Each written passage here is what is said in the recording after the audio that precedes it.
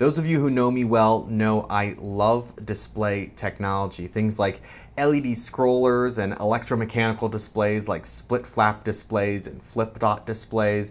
I don't know what it is I love about them. Maybe it's the sound, and I, I, think that has a big part of it, especially with the electromechanical displays, which have a beautiful sound associated with them. I grew up outside of Philadelphia, and if you ever go to 30th Street Station, there is a beautiful split flap display in the center of the station, right over the information booth, and the sound of the letters changing really fill the entire atrium and it's just beautiful it looks nice and it sounds nice and uh, so i've been after split flap displays for a while i've been looking for them online. I wanted to play with them myself. Maybe one day make one. I don't know. We'll see. Uh, i have a, uh, a flip clock on the wall but unfortunately, a flip clock is a lot more basic than a split flap display because a flip clock's axle moves at just a constant rate, whereas a split flap display in order to display a different letter on each flap, it has to know where it is and it has to know where it needs to go. So there'll be more complex electronics and mechanics going on in a split flap, dis- in a proper like split flap display.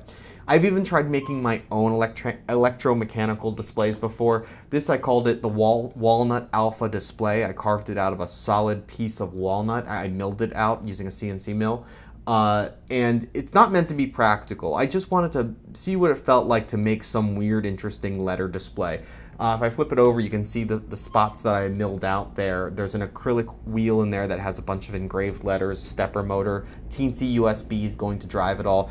If you want to see and hear this thing in action, uh, I'll put a link in the description of this video to another video which shows it. And I think you'll see what I mean about the sound because sound is very important to me for these things. And uh, I think it really, it's really what sells it and it's really what I like the most. And in fact, I think it was in the process of making this and then eventually hearing what it sounded like where I realized that I love the sound of electromechanical displays so much. So as I mentioned, I have been after split flap displays for a while. I've never gotten my hands on one, but I did recently get my hands on a flip dot display.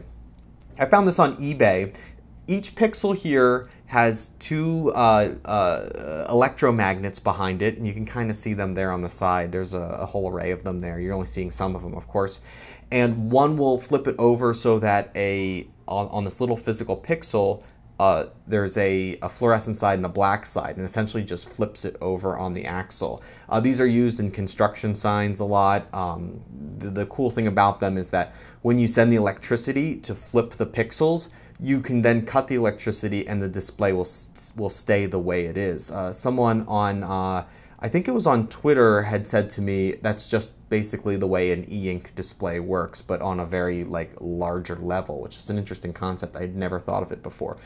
I have no idea how to get this thing working. I mean, I have some ideas, but I haven't tested anything yet.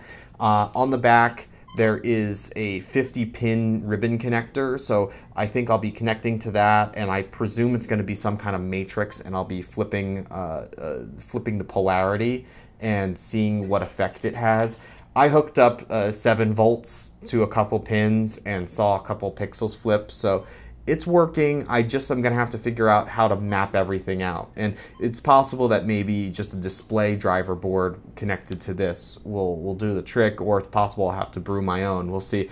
I'm gonna have to leave this for a summer project, but I was so excited about getting this, I wanted to show you guys. And maybe someone out there has any experience with these. Let me know, leave a comment. Thank you for watching these videos. I appreciate it. Uh, have a great day today, and I appreciate every comment, share, uh, you know, thumb up there, or whatever you've got. Throw it my way. I really appreciate it. Have a great day. I'll have another video for you tomorrow. Bye.